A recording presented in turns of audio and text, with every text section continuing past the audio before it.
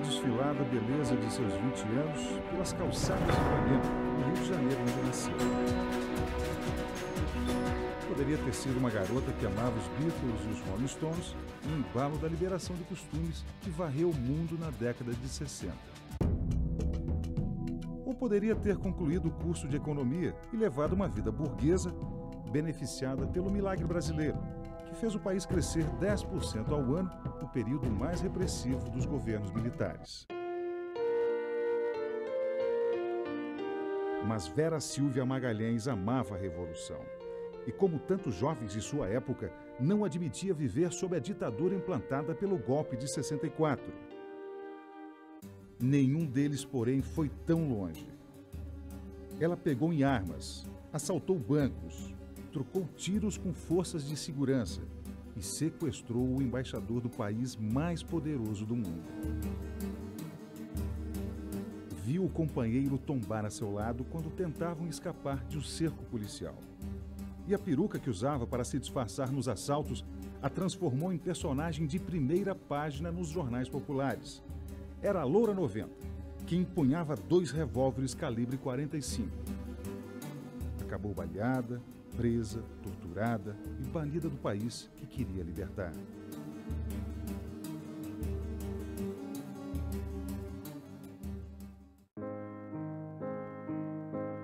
Trinta anos depois, vividos entre o exílio e a volta, Vera Silvia Magalhães ainda procura seu lugar no mundo.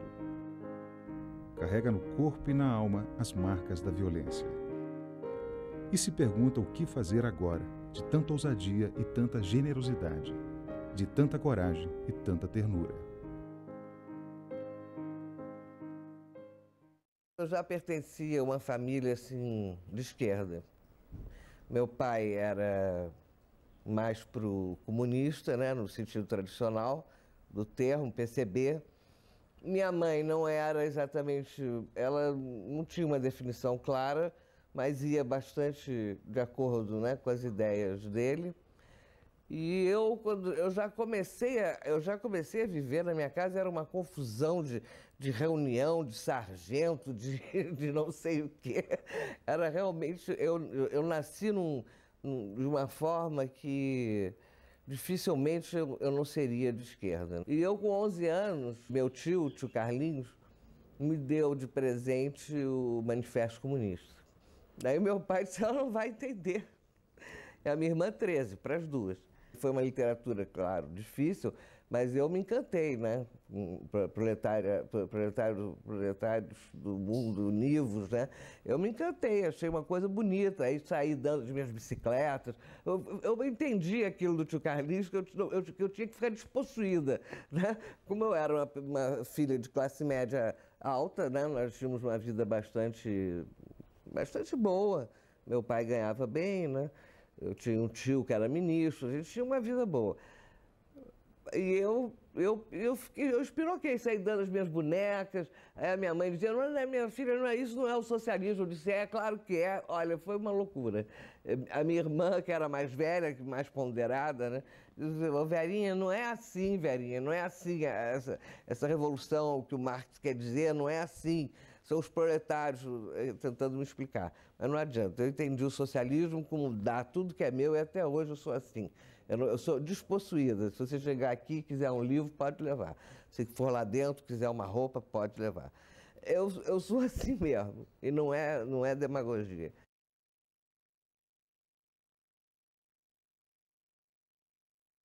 A gente fazia o que queria. Eu era do Grêmio, né?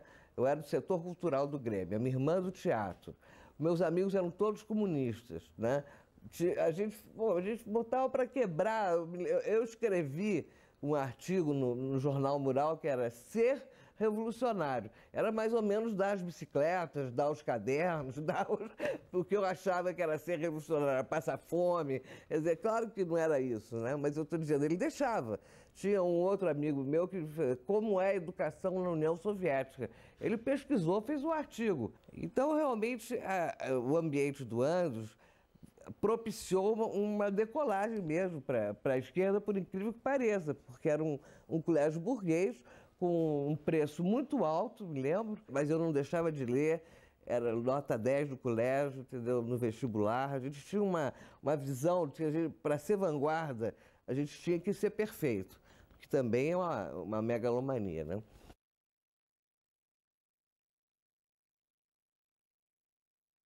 Aí a gente ganhou a faculdade de economia, era da direita e a gente ganhou para a esquerda. A nossa entrada na faculdade mudou completamente os rumos da faculdade. É por isso que a gente teve tanta sensação de vitória, sem exatamente ser uma vitória. Né?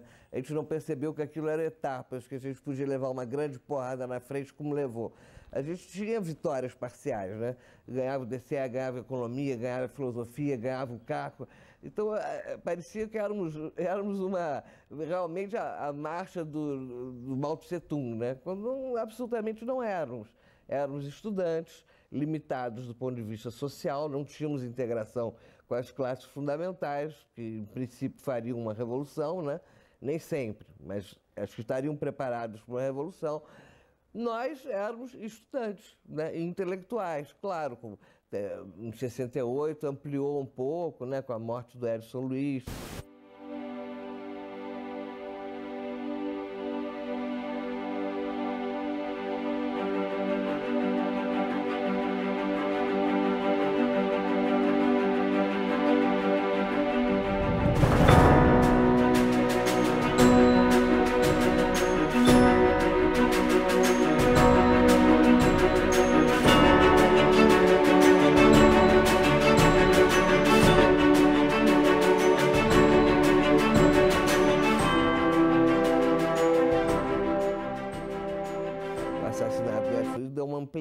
Para professores, para artista plástico, mas tudo na área, da, área intelectual e classe média.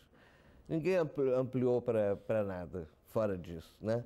Em 68, quando cai Ibiúna e todos os líderes estudantis são presos, a nossa perspectiva fica completamente sem perspectiva.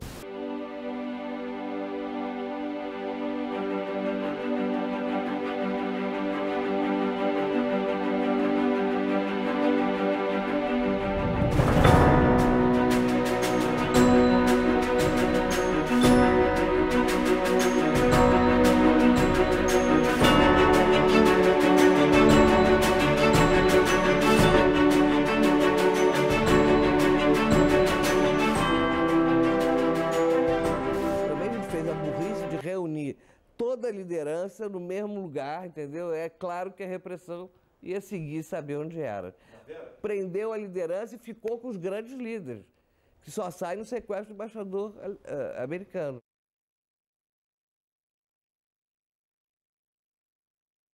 Eu, nessa época, eu era do Comitê Central. Desculpa, mas. Ai, meu Deus, é ridículo, né? Tem coisas que são ridículas. Não, eu era secretária de massas do Comitê Central. Eu dava as ordens para o Vladimir. Vê se tem algum sentido. Eu tinha 19 anos, entendeu? o Vladimir olhava para mim, tá bom, velho, tá bom. E ele fazia o que ele queria. Ele que estava em contato com a massa.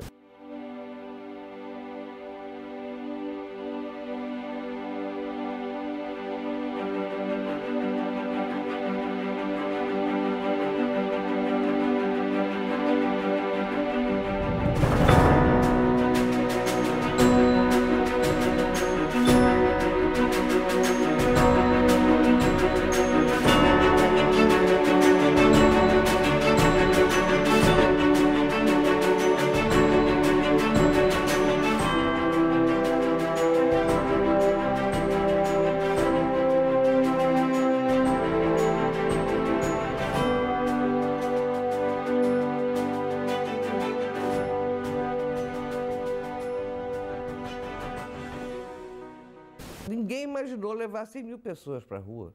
Ninguém. Aquilo foi uma apoteose, a gente ficou eufórico, né? E, e, foi a única passeata pacífica, nós já tínhamos feito milhões de passeatos no Rio, desde 64, né? Não foi uma nem duas. No Rio, São Paulo, nas grandes cidades, Nordeste, passeata atrás de passeata. Era a nossa forma de luta, era ir para a rua. Brigar dentro da faculdade, entendeu? Por bebedouro, mas ir para a rua contra a ditadura. Era essa a tática, né? a estratégia. Então a gente fazia isso continuamente, diariamente. Eu tinha vezes que eu ia todo dia para passeata, levava, levava porrada, ia, caímos, iam para o hospital. Era, era uma verdadeira guerra na rua, e eles armados, né? Se bem que eles não atiravam, eles jogavam lacrimogênio, cacetada. Quando atiravam era para o alto. Mas era um terror. Realmente foi o ápice da, da nossa vivência enquanto revolucionários. Falando da vanguarda. A própria massa vibrou muito. Foi, uma, foi realmente uma, uma passeata, aquele, aquele discurso do Vladimir na, pelo socialismo era, foi uma das coisas mais bonitas que eu já ouvi pelo socialismo, porque ali não se falava em socialismo, falava em ditadura. Ele abriu o campo para o socialismo, foi lindo. 100 mil pessoas era muito para o Rio de Janeiro naquela época. É muita gente. Mas depois o movimento estudantil começou a murchar. É o que a gente chamava de descenso, descenso das férias, descenso das. A gente chamava de descenso, agora é a hora do descenso. Mas sempre achando que ia voltar a, a rebar, né? Mas a verdade é que Ibiúna foi o. Ibiúna, o AI-5, as duas coisas juntas foram demais para o movimento estudantil. Todo mundo foi preso, né? Ali, ali em Ibiúna houve uma triagem, né? As lideranças ficaram um ano, sei lá quanto tempo, presos. Agora, o movimento estudantil se desmobilizou, porque as pessoas começaram a ficar com medo, medo concreto da prisão, da, da porrada, da tortura, já foram ameaçados, né? E depois veio o AI-5, em dezembro, 13 de dezembro. Quer dizer, o AI-5 foi o golpe dentro do golpe. Né? Sobe o Garrasto Azul Médici, e aí vocês sabem que a porrada comeu. E aí ficou na vanguarda do movimento, aí, aí já um movimento não mais estudantil, o um movimento social de, de tomada do poder, é isso que nós queríamos, e transformação daquilo em socialismo, e que nós não éramos exatamente contra a ditadura, nós éramos contra a ditadura militar burguesa, mas nós éramos a favor da ditadura do proletariado. Isso ninguém diz, mas tem que dizer, porque faz parte da nossa história.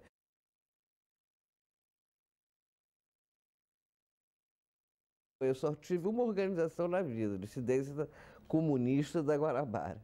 Nunca mudei, Nunca saí dela, nunca entrei em outra. O nosso primeiro grande erro, a gente fez uma conferência em abril de 69 para mudar a linha política de 67, que era uma linha pacifista, muito influenciada pelo Partidão ainda, nós tínhamos acabado de sair do Partidão em 67. Aí, em abril de 69, antes do sequestro do embaixador americano, a gente muda a linha. E quem escreve essa linha sou eu e o Franklin Martins.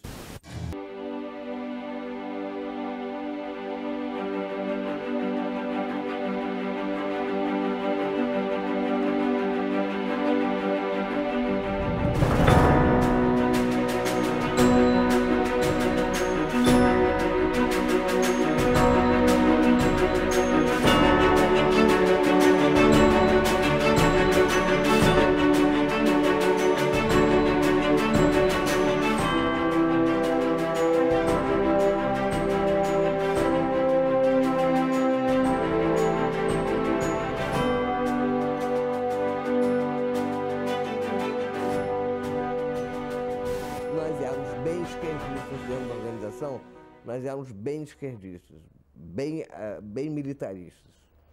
Aí uma, sai uma linha militarista, aprovada pelo Congresso. Era um Congresso assim, tinha 10 pessoas. e a gente chama de Congresso. E eu fui destacada para a Frente de Trabalho Armado. Saí da direção geral e fui para a Frente de Trabalho Armado. Realmente, eu detestava a luta armada. Ou melhor, eu nem chamo de luta armada. Hoje, olhando para trás, eu sei que aquilo não foi uma luta armada, foram ações armadas e de propaganda armada. Eu, individualmente, vou para essa tarefa porque baixaram. Eu morria de medo, eu não, eu não, é mentira, a loura, me chamam, né, a repressão loura 90, como se eu usasse 2,45, eu tinha mal um 38 que, que emperrava toda hora. O meu treinamento foi, dizem que foi em Cabo Frio, né, naquele, mas não. Meu treinamento foi na Floresta da Tijuca, o João Lopes Salgado, que é ex-militar, treinou todo mundo. Pegou umas, uma, umas balas de INA, era, era a metralhadora que a gente usava, do exército. A gente roubava nas guaritas uh, aqui no Leblon, entendeu? Era assim. Era um amadorismo total. E a gente, a gente ia com a INA que engasgava, com o revólver que fazia as ações. E quando tinha tiroteio, mandava ver. Eu, sinceramente, tive medo. Tive medo da própria arma da minha arma, quanto mais das outras né, que vinham contra mim. Eu, eu, não, eu, eu, inclusive, achei que eu não tinha a menor capacidade para fazer a luta armada. E não é que eu me, não só me especializei, como me tornei um, um, um, quadro.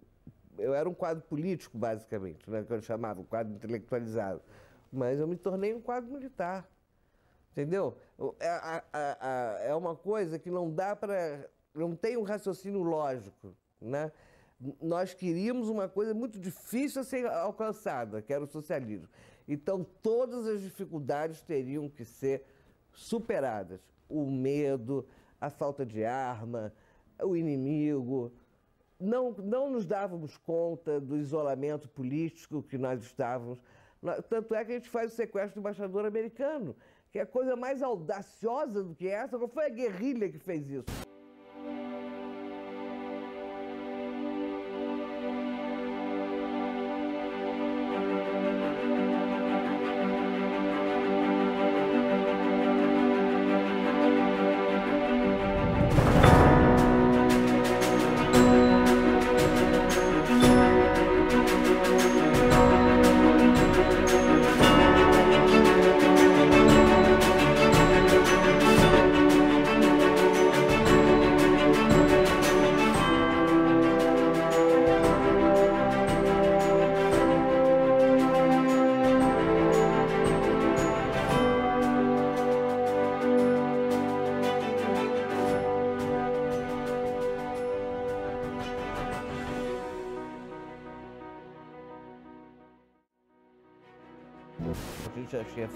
Fez um cofre de um deputado do, do, do MDB, podia ter pego um da Arena, né? mas pegou um do MDB e pegou o dinheiro todo, o cara morava na Nacional Copacabana, a gente pegou dólar, dólar, ele tinha dólar que não era normal, escondido, joias, e quadros, de, uh, peças de arte, quadros de arte, levou tudo.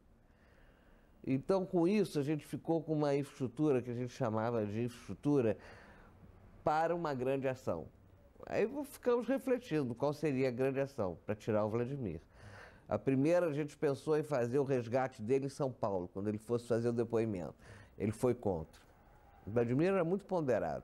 Ele preferia a cadeia do que a nossa maluquice. Ele era muito ponderado, é, é, depois que ele ficou mais assim, esquerdista, mas ele era muito ponderado. Aí, quando a gente disse para ele, bom, o Franklin deu a ideia de fazer um sequestro de um embaixador americano, não é de qualquer um, para tirar o Vladimir. O resto a gente botou na lista com critérios políticos, como disse o Franklin, né? Eu dizia, não, temos que botar os quadros militares que estão sendo torturados. E o Franklin dizia, não, nós temos que botar o, os quadros políticos, que são os estudantes, que não estão sendo torturados, e a, a, aquele do Nordeste também entrou o Gregório, o Gregório Bezerra, por critério político, era um cara representativo. O Vladimir foi isso. disso? Ficou e foi contra. O que nos ocorreu era o seguinte, nós temos que, bom, nós temos que fazer uma ação que rompa a censura da imprensa. Uma ação de propaganda armada que mobilize o povo, mostrar que é viável tomar em armas, desmoralizar um governo, era o triunvirato, era 7 de setembro, que a gente escolheu a data propositalmente, foi muito bem pensado. E, e disse, bom, vamos pedir reforço para a LN, mas é foi uma bobagem, a LN também não tinha arma, não tinha, não tinha dinheiro. Vai lá um quadro nosso, para São Paulo, fazer um contato com Marighella.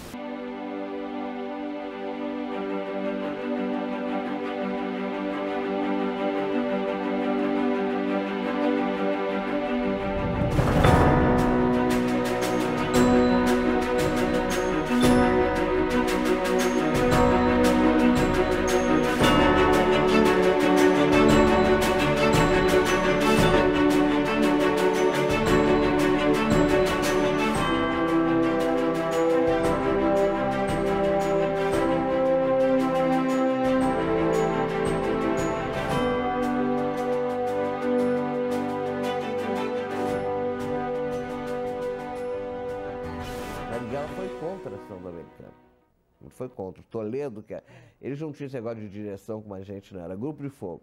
O Toledo é que quis.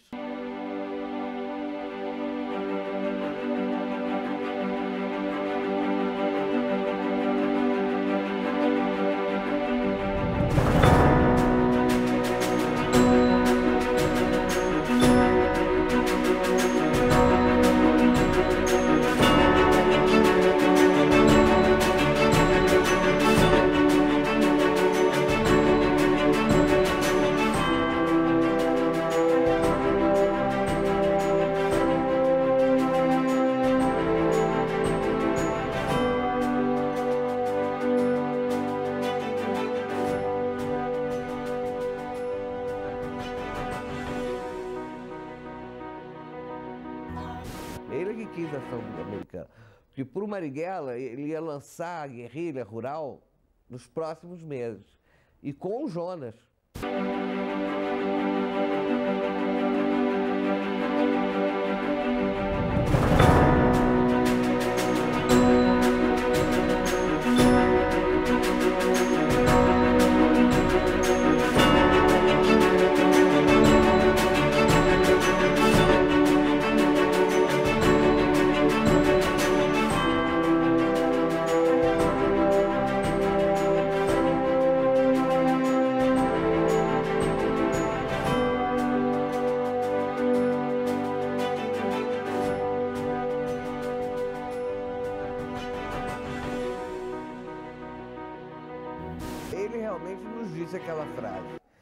Companheiro que correr, né, que fugir da polícia, eu, eu mato primeiro que a polícia. Quem disse? O Virgílio, o Jonas, o comandante. Mas era uma frase de efeito. Ele, queria, ele achava que nós éramos muito jovens, muitos, muito intelectuais, todo mundo falava inglês com o embaixador. Então, ele achava que nós não devíamos é, ser parceiros da LN, que para ele era uma organização, Marighella, Toledo, gente importantíssima, né? Nós éramos ilustres desconhecidos. Ele queria mesmo era lançar a guerrilha rural, antes de fazê-la, né? E ele era um cara que no convívio, no cotidiano, se mostrou altamente afável, entendeu? Ele tinha medo, ele dizia, olha, na hora, aquela história do filme é errada. Se alguém fosse matar o, o, o embaixador, seria o Jonas, que nenhum de nós queria, entendeu? Nem o Toledo. Essa coisa é muito difícil, você, você matar alguém. Entendeu? Nem em guerra, nem em movimento, imagine parado dentro de uma casa. É difícil. O Jonas tinha mais coragem, né? Parecia. Não sei se na hora ele vacilaria. Mas a possibilidade de matar o embaixador era quase nenhuma. A gente tinha certeza que o governo ia ceder. A gente, aqueles vacilos que conta no filme, medo, não sabe, não houve entre nós. A dissidência tinha, escolheu a ação porque sabia que ela era certa e segura. A gente só fazia ações é, com alguma inteligência, algum, algum raciocínio. Negócio de assaltar banco e tal, a gente só fez no início, uma ou duas. Brutalidade nenhuma. A gente não pegava a população civil nunca. Sempre em horas que não tinha população civil. A dissidência era particular. Não, a nossa ideia não era mostrar a força do militarismo, era mostrar a força das ideias. Então a gente divulgava, a gente fazia panfletagem, divulgava as nossas ideias. E as armas para nos proteger. Agora, de ataque, claro que é uma ação ofensiva do americano. Só que eu fiz o levantamento, foi essa a minha grande função. Eu namorei o chefe de segurança da embaixada, mas não dei. Não dei, isso é mentira do filme. Eu consegui que ele me dissesse, claro, a vida dele era o embaixador. Então, ele, em, em poucas perguntas, eu consegui saber hora, roteiro, placa, entrei na garagem com ele, ele queria me namorar, evidente, uma bela moça, só que não foi possível. No dia, no dia que ele marcou o encontro, a gente fez ação. Era importante colocar ele ele por outro lado, porque o Marighella era bem conhecido, né, da repressão, não estou dizendo da população. Metemos Marighella, né, claro, inclusive o Franklin fala, que vai lançar a guerrilha rural no manifesto. O manifesto também é do Franklin. O Frank tinha ideias geniais, mas era completamente maluco. Aí fizemos ação. não é, ele não tinha ideia, não parava de ter ideia. A ditadura tem 48 horas para responder de público se aceita ou não a proposta. Este prazo não será prorrogado e não hesitaremos em cumprir nossas promessas. Quem quer que permaneça torturando e matando nossos companheiros, é melhor que se prepare. Agora é olho por olho, dente por dente. A gente achava que ia, ia realmente repercutir né, na sociedade de tal forma que as adesões viriam à, à revolução. Era um ato revolucionário. Né? O manifesto era um manifesto altamente esquerdista. Quem topasse mas ninguém topou, né? Nós, aí nós parecíamos mesmo os astronautas. Nós não conseguimos alugar uma casa, aquela casa era do offset. O Gabeira tinha, tinha entrado na, na organização há pouco tempo, uns seis ou sete meses. Ele era responsável pelo jornal Resistência, que era um jornal que nós tínhamos que era muito bonzinho. Pelo menos a gente queria fazer jornal, entendeu? Não era só luta armada. E ali tinha offset. E também tinha Kombi verde, que nós usamos no sequestro, que foi a maior bandeira para o vizinho reconhecer a casa. Né? Foi a Kombi verde, do, de um outro jornalista, que já morreu, coitado.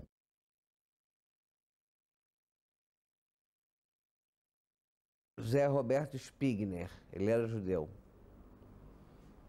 E ele morreu, ele tinha 20 anos. Ele foi, a gente foi cercado na nossa casa, na Penha.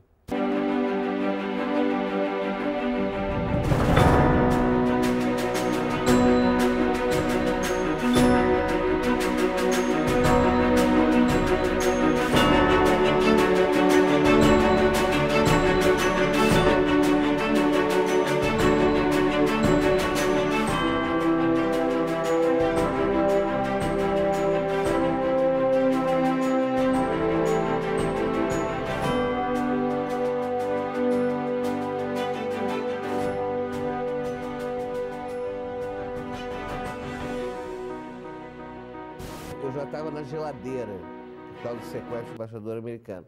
Eu só saía para fazer ação. Eu fiz a ação do Félix Pacheco, quer dizer, roubei os espelhos, né? Para a gente fazer a identidade falsa. Mas eu, eu fiz pouca coisa. E eu tomava conta dos filhos da minha vizinha. E a minha vizinha andava com policial. Mas eu fui muito ingênua. Eu gostava de criança, eu não tinha nada para fazer, estava na geladeira. Até livro não tinha na casa, não tinha nada. Nossa casa era um horror, não tinha nem onde dormir, era aparelho mesmo. Aí eu acho que tinha uma cama para mim, para o Zé Roberto, uma cama de solteiro. E outra truzilho, eu acho, sei lá. Era muito. Não era casa aquilo, né? E ela deve ter percebido. E, bom, mas eu não percebi, fiquei tomando conta do bebê, da criança pequena. E teve um dia eu passo na casa dela, eu vejo um cara, eu vejo a arma de um cara. Aí eu digo, pô, esse cara é policial, mas eu vou fazer o levantamento e volto. Eu tudo maluco, né? Aí saí, fui fazer um levantamento, que era uma casa de armas que a gente faria se fosse necessário. Lá na Leopoldina, lá fui eu, voltei para Penha, quando eu, sozinha. Quando eu volto, o cara tá lá. E ele me pergunta, você quer uma carona? Eu disse, não. Para, para quê? Não, não quero carona nenhuma, nem lhe conheço. Aí ele foi, ele aparentemente foi embora. Mas aí a Miriam, essa mulher, chega para mim, isso aquela reunião dentro da casa, né? Com toda a direção da organização. Organização pequena, né? Aí eu, eu disse para ela, olha, Miriam, ela disse para mim, chegou uma RP para você aí, uma rádio patrulha. Para mim, Miriam, por que para mim? Quem namora policial aqui é você. Você que traz seu marido com os policiais. Eu dou cobertura. Eu fico com seus filhos para você sair com eles. Aí eu entro e disse, ó, caiu. Caiu o aparelho. Vamos embora. todo mundo embora. Aí foi o Daniel e o Cid na frente, que o Cid estava dirigindo um Fusca, a gente só usava Fusca. O Cid estava dirigindo o Fusca, tava, mas ele, claro que né, botou o Fusca bem longe do aparelho, uma questão de segurança. Foram a pé. E a outra ordem era eu e o Zé Roberto, e o último a sair com a metralhadora era o Zílio, né, que é esse artista plástico atual. Aí quando nós fomos, quando eu saí, eu não resisti. Eu, eu disse para Miriam, Miriam, se acontecer alguma coisa com algum de nós, eu volto aqui e te mato. Você nos denunciou. Eita. Aí ela ficou assim, não, Vera, Vera não, Ângela, né? Ângela, de jeito nenhum, não denunciei. Eu disse, ah, é? Pois eu desci. Por que, que você estava telefonando ali da padaria? Você tem telefone em casa? Mas eu não tinha certeza. Aí eu disse, tudo bem, olha, eu pensei que quando eu estivesse com seu filho no meu colo, que era o pequenininho, você não ia fazer isso. Agora, tome, tome seu filho, ele não tem nada com isso, eu não eu vou raptar, não vou matar, nada com essas crianças. Agora, você é a pessoa que, depois eu soube, ela trocou o irmão, que estava preso por estupro, pelo nosso aparelho. Ela trocou a liberdade dele. Aí o Zé Roberto, nós fomos cercados embaixo, eu e o Zé Roberto. O Cid e o Daniel já estavam longe, não ouviram, e começou o tiroteio entre nós e os caras da repressão. A gente via, né? Todo mundo a paisana. É fácil ver o cerco, né? A gente faz o pequeno cerco, o grande cerco, aquelas peruas verdes, né? Porque não vem de RP, nem de. Vem carro civil, né? Aí eu abri, eu abri fogo quando seguraram o Zé Roberto, eu abri fogo, mas eu fui para um canto, assim, canto escuro.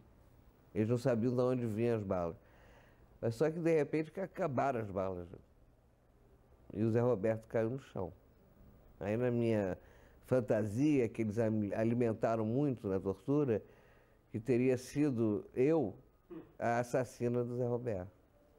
E eu fiquei com essa ideia até o exílio até encontrar alguém que me esclarecesse essa história. Eu entrei numa depressão muito grande.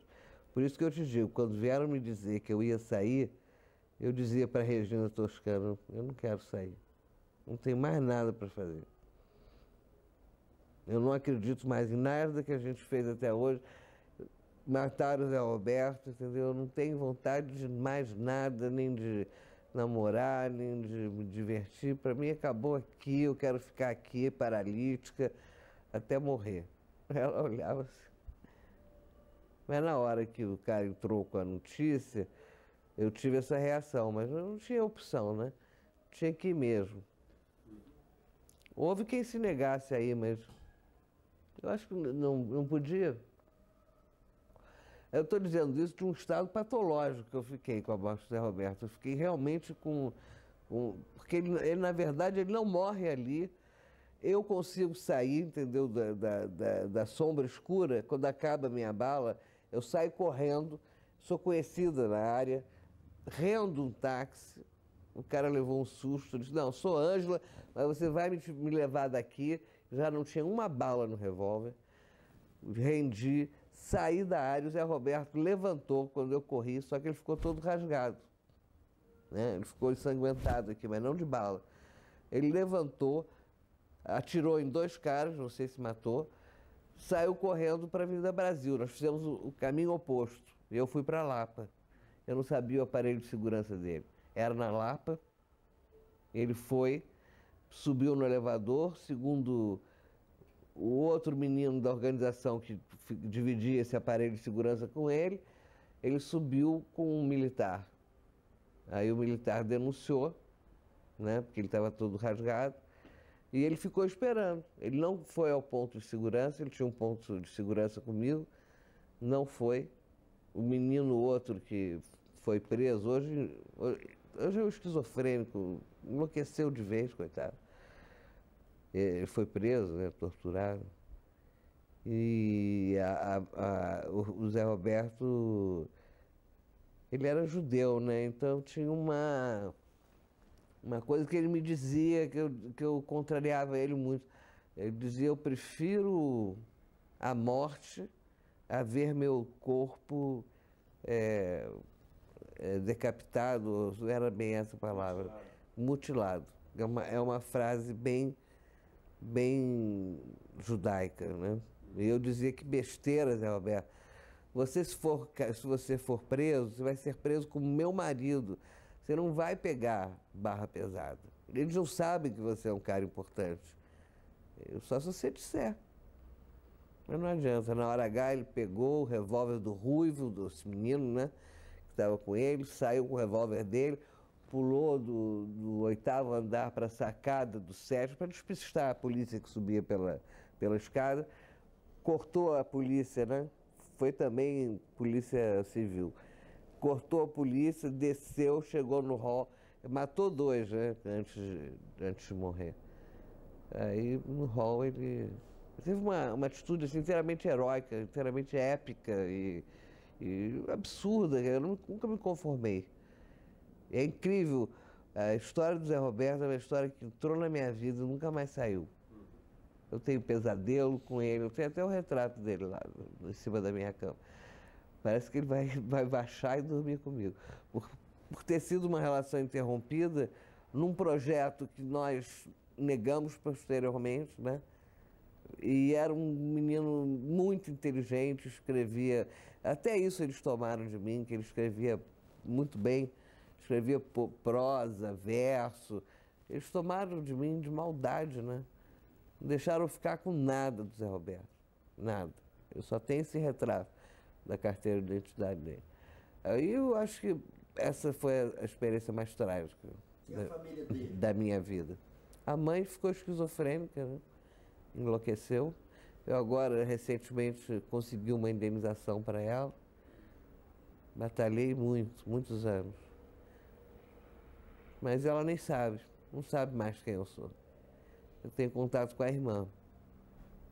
Mas é tão dolorido esse contato, para mim, para a irmã, eu acho. Ela me procura porque ela quer que eu, eu represente aquela perda, né? Eu, eu, eles não ficaram com raiva de mim, claro que não, né?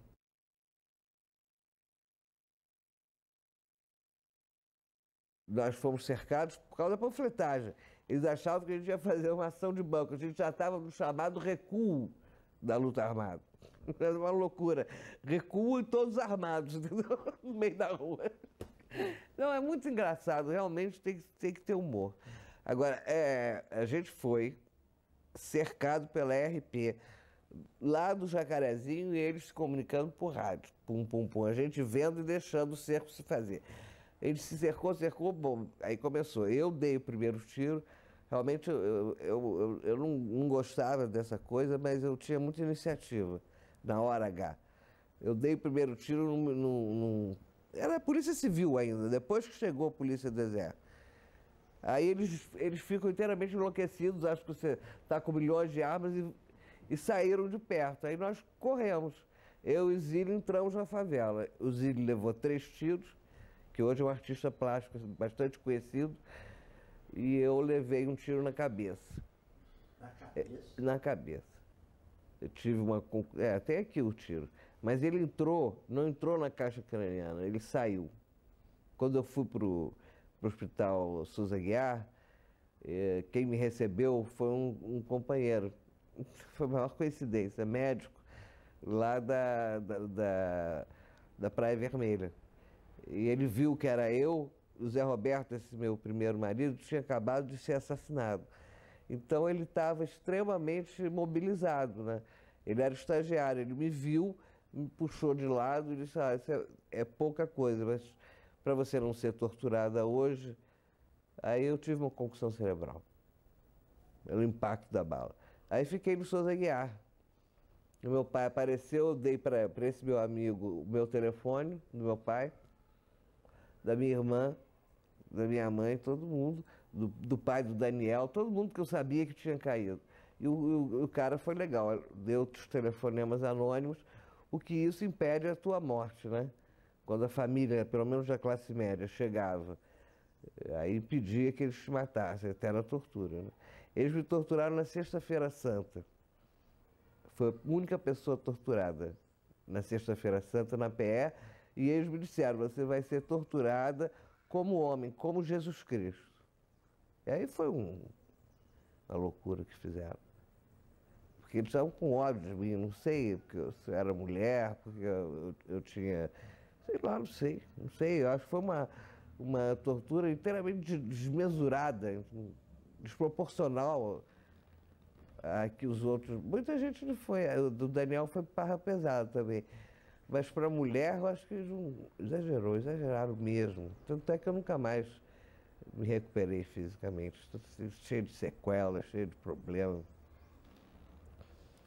Agora, eu também não morri, né? Eu saí logo. Eu fui trocada pelo alemão, eu caí em 6 de março, fui trocada em 15 de junho pelo embaixador alemão. Aí eu ainda estava ainda tava na tortura, eu estava na cadeira de roda.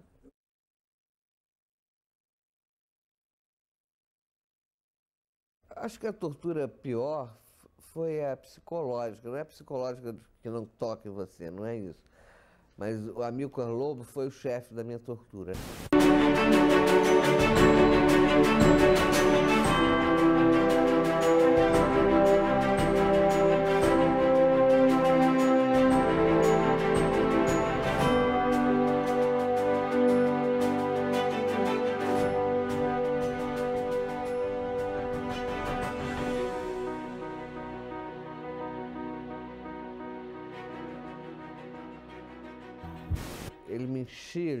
Psiquiátrico, eu nem sabia que isso existia, e me tirava a noção do tempo, do calor, do frio. Eu, não, eu ficava numa sala escura, quando eu tocava num troço, levava um choque elétrico, assim, batia com a cabeça na parede. Quer dizer, e eles não se apresentavam. De repente, eles entravam em cena. É uma mise-en-scène incrível.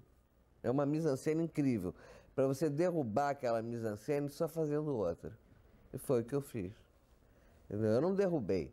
Eu, só, eu não disse o que eles queriam ouvir. Mas eu contei uma história inteiramente verossímil que eles acharam por bem acreditar até um determinado momento. E tem aquelas coisas, é, é, muito choque elétrico, pau de arara é uma coisa muito ruim. Eu fiquei paralítica, paralisada por isso. Porque a eletricidade né, contrai, a musculação toda, você fica sem andar mesmo, né? Mulher, sobretudo mulher. Ah, tem espancamento, né? Fica sem feição, eu nem me reconheci no espelho depois. Né?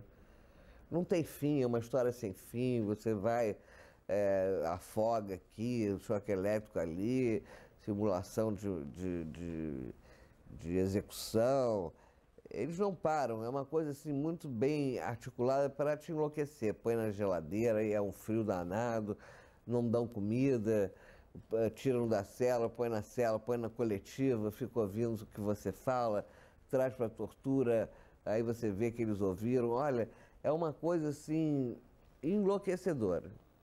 Enlouquecedora. Eu acho que eu, inclusive, fiquei com problemas psiquiátricos graves. Fiquei. Agora não, porque agora eu estou mais centrada, mas imediatamente a tortura fiquei. Fiquei muito desarticulada. Não é a informação sozinha que eles querem. Né? Eles querem te destruir como indivíduo. Então é uma coisa que vai no teu, na tua autoestima, no teu orgulho, na tua dignidade. Eu fui completa, completamente suicida eu os agredi como eles me agrediram. Eu achava que era a forma de eu manter a, a, a minha responsabilidade de militante. E claro que isso é suicídio, porque a porrada é muito maior, né? E esse troço de espancamento é uma coisa eh, dilaceradora. Você pensa que é fácil? Oito homens te dando porrada? Em tudo que é canto, fiquei roxa. Era um hematoma. Né? Agora tem outras coisas que são, me queimaram também. Tem coisas que são cruéis mesmo. Arranca a unha, queima a perna.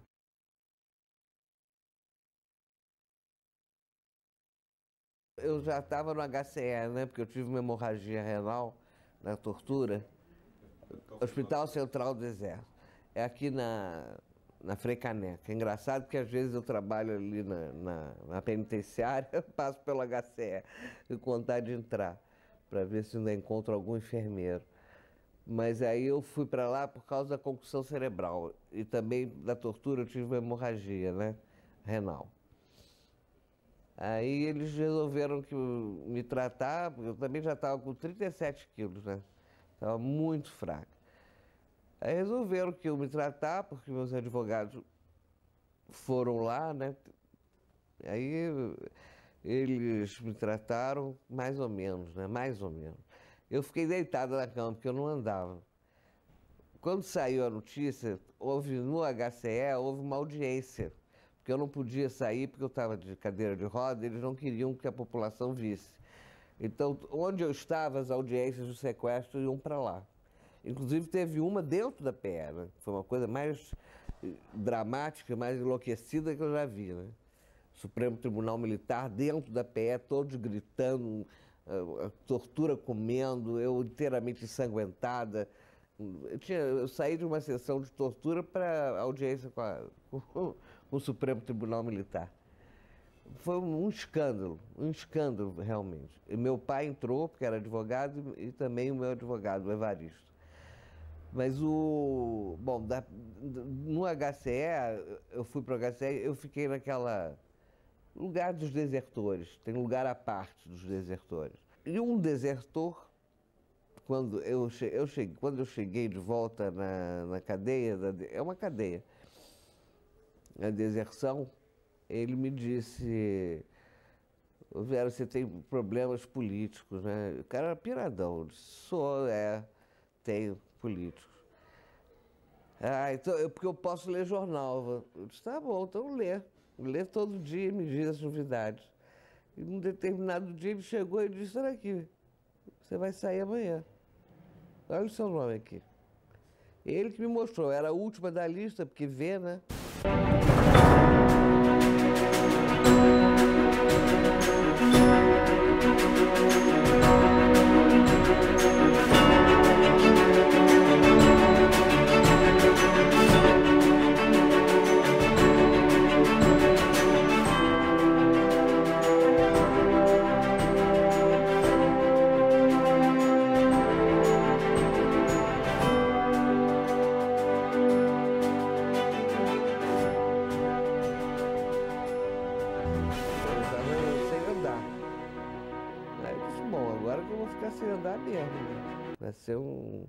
Um, um, escândalo internacional, como foi realmente.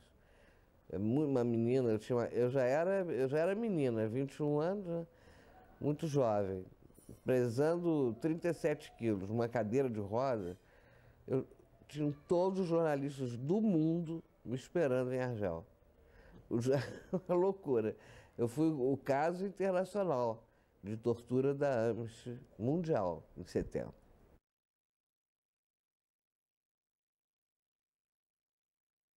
Argel, Cuba, treinamento militar, um ano e meio.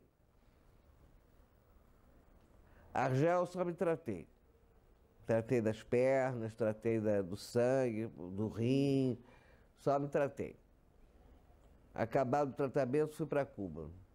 Não sei quanto tempo, mas fiquei, fiquei o treinamento todo e fiquei esperando lá o passaporte falso da organização para poder sair de Cuba. Acabou chegando passaporte falso em Praga. Eu fui para Praga, troquei o passaporte cubano e peguei o, brasileiro falso.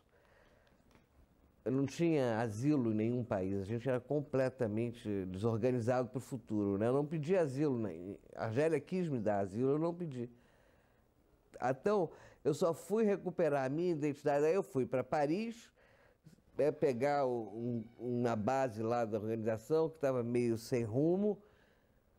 De Paris eu fui para a Alemanha com Gabeira. Nessa época eu já era casado com Gabeira. Vamos para o Chile, golpe, golpe do além. Nos refugiamos na embaixada argentina. Vamos para a Argentina, não recebemos asilo político, muito pelo contrário. Aí eu, eu, ele não vai comigo, eu, meu, habeas data, não, como é que chama? Meu, não, também não. Quando você sai. É o meu laissez-passer, né? Sai antes do dele. Então eu venho sozinha, vou, quer dizer, com um grupo, né? E vou para a Argentina e lá na Argentina também é maior confusão, porque meu pai vai até. O Jamar, que, é suíço, conseguiu tirar muita gente do Chile, foi muito, teve um comportamento maravilhoso mesmo, ele era da P. Inclusive a nós ele tirou. Eu, eu Gabeira, Marcão, Sérgio Pinho. Tudo. Mas quando a gente foi para a Argentina, a Argentina é a época que o Perón está voltando. Ele recusa o, o, asilo político, a gente aí foi, foi complicado porque nenhum país queria me aceitar por causa do sequestro. O único que aceitou foi a mim, né?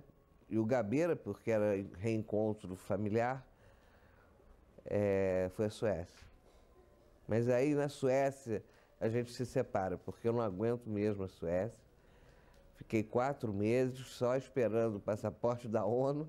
Duas horas de sol por dia, né? É, uma depressão aquilo ali, uma tristeza. Comecei a ficar maluca mesmo. Aí eu vou para a França. Mas já, já, já entro numa vida semi-legal, que eu não tenho visto na França. trabalhar? Mas eu trabalhava clandestinamente, a clandestinidade é com a gente mesmo. Se eu precisar entrar agora na clandestinidade, eu entro. Eu sei exatamente o que fazer. O que, você fazia? O que, que eu faria? Paris. Paris, eu era babysitter. Eu recebia dinheiro do meu pai. Não, na primeira vez de Paris, não, na segunda. Na segunda vez de Paris eu recebia. Não recebia mais da organização, né? Que eu não era mais militante. No Chile eu deixo de ser militante, 73. Por quê?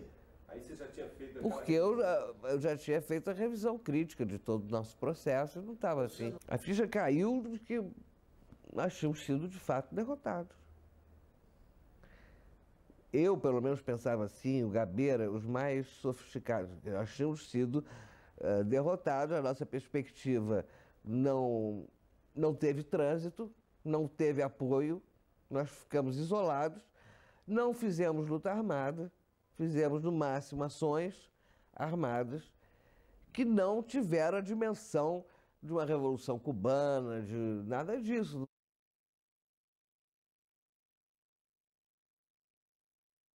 O meu retorno foi a anistia.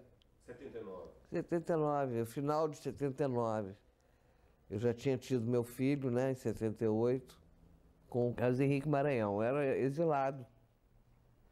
Ele era exilado, ele era presidente do diretório de Recife, ele é pernambucano. Aí fui para Recife. A minha fui, fui para um outro exílio. Custei muito a vir para o Rio. Não, eu vim ver aqui o pessoal, né? Os amigos, a família. Mas eu vim, fiquei um mês, fui para lá. Fiquei quatro anos lá. E aí já sem, sem qualquer militância, sem... Não, eu sempre trabalhei pra, pelos excluídos. Eu fiz um trabalho no sertão, que no, pelo Joaquim Nabuco. Eu sempre trabalho onde, tá, onde, onde o pessoal está ferrado.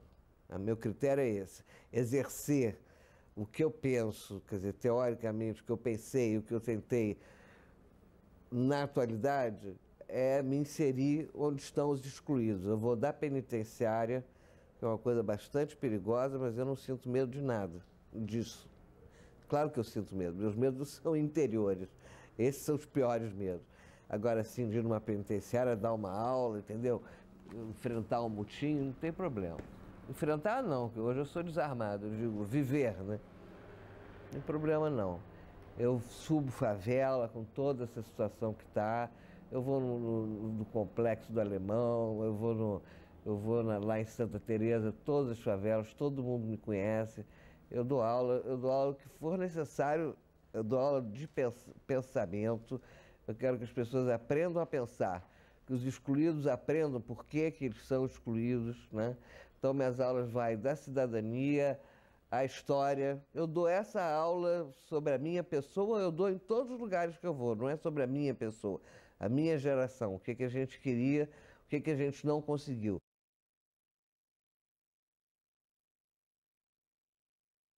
eu não acho que, isso, que há uma continuidade histórica entre aquele momento e o atual.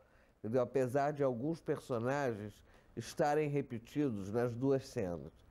Hoje eu acho que é isso, temos possibilidade de uma democracia, do socialismo, socialismo jamais. Eu acho que nós temos condições de fazer reformas num país que precisa fazer reformas.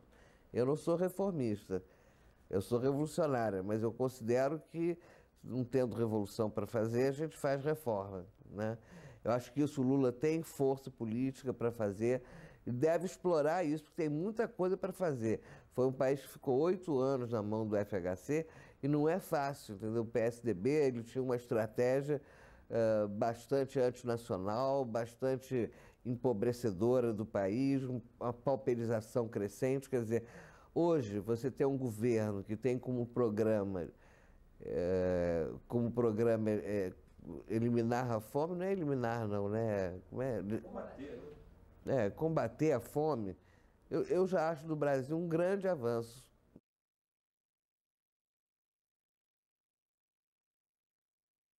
Ah, valeu. Só não valeu para quem morreu. Isso é contraditório o que eu estou dizendo. Mas é. Como eu te digo, eu adquiri. Não tinha nada melhor a ser feito na minha geração. Eu acho que o que havia de melhor na minha geração fez o que eu fiz. Essa era a nata da geração. Fez errado, não importa. As intenções e a experiência que acumulou estava nesse núcleo que resistiu à ditadura. Eu não considero vitoriosos nem vencidos, não. Eu, eu acho apenas uma, um projeto foi questionado. Nós ganhamos muitas coisas. Nós ganhamos valores, eu te digo. Nós ganhamos amizade. É um grupo fechado, entendeu? Nós somos um grupo, a geração 68 te, formou um ethos realmente exemplar. Eu, o meu filho tem orgulho de ser meu filho. Não é porque eu fiz essas coisas, é porque eu atuo no meu cotidiano de acordo com essas coisas que eu fiz. Não estou dizendo que são todos assim, o ethos nunca é coletivo, mas é de uma grande parte. Eu acho que a ética que nós adquirimos a, a questão da amizade que nós formamos, os valores adquiridos. E o questionamento, a gente não é conservador, não adianta. Não é no amor, não é com o homem, não é com, no trabalho, entendeu? Eu sou sempre uma pessoa revolucionária. Sou contra a ditadura do proletariado, sou contra qualquer ditadura. Não sei nem se existe proletariado. Não sei se existe na concepção marxista. Não, não tem nada, não tem nada daquilo, acabou. O que não quer dizer que eu não deixe de, nas minhas aulas, na minha micropolítica, transmitir uma ideia socialista, entendeu? Eu sou uma socialista, eu sou, a minha casa é de, é de todo mundo, o, o, que eu tiver, o meu carro é de quem precisar.